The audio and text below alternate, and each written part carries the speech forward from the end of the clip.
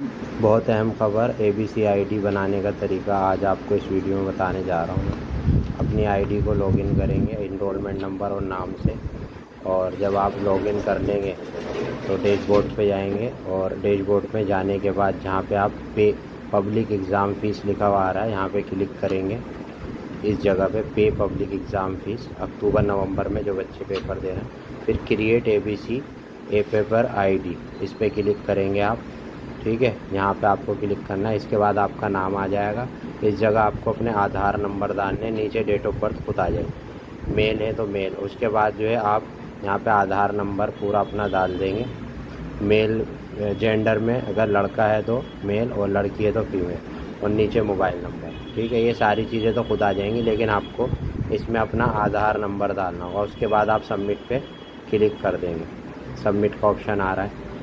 ठीक है, और चेक कर लेंगे आधार आईडी सही है या नहीं है। और फिर उसको जो है सबमिट पे क्लिक करेंगे। जैसे ही आप सबमिट पे क्लिक करते हैं तो आपकी ये क्रिएट सक्सेसफुली हो गई ए बी सी आई डी इस तरह आपकी ए बी सी आई डी जो है क्रिएट हो जाएगी। और आप देख सकते हैं, ये आपकी ए बी सी आई डी है, ऊपर इनरोलमेंट नंबर है तो इस तरह से ए बी सी आई डी बनानी ज़रूरी है। इसके क्या फ़ायदे हैं, वो तो इन फ्यूचर आपको पता लगेंगे। फिर उसके बाद आप अपने सब्जेक्ट सेलेक्ट करके एग्ज़ाम फ़ीस पे कर सकते हैं।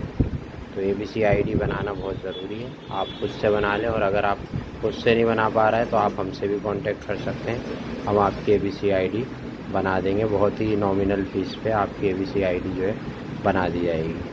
वीडियो को लाइक शेयर और सब्सक्राइब करें और दोस्तों तक शेयर करना ना भूलें शुक्रिया।